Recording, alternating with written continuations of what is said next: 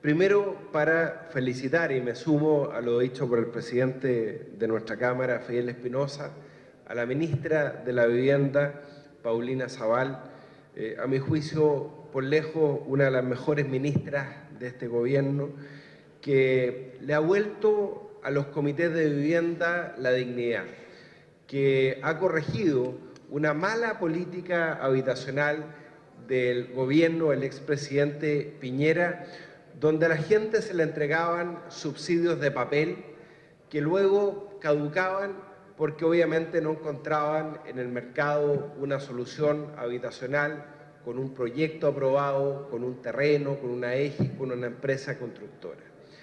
Y la nueva política habitacional del gobierno de la presidenta Bachelet no solo amplió el valor de los subsidios prácticamente al triple, subsidios que antes eran de 330 unidades de fomento, gracias a la nueva política habitacional del gobierno de la presidenta Bachelet, están llegando casi a las mil unidades de fomento si uno le suma el subsidio, por ejemplo, de habilitación de vivienda.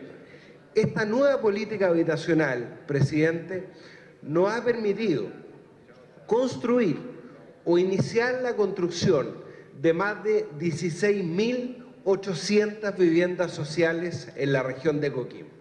Sí, presidente, escuchó bien, más de 16.800 soluciones habitacionales en la región de Coquimbo. Y no nos referimos a subsidios de papel, nos referimos a viviendas en terrenos adquiridos gratuitamente, traspasados por el Ministerio de Bienes Nacionales al Ministerio de Vivienda gratuitamente y no a título oneroso, como ocurría hasta en el gobierno anterior, que era absurdo, ¿no? El Estado tenía que pagarle al Estado, no. Ahora se hacen transferencias a título gratuito y se lo construye a las familias donde existe, por cierto, acceso a la educación, al transporte en medio de las ciudades. En otros casos, se ha debido recurrir al mecanismo de la expropiación, pensando en la función social de la propiedad.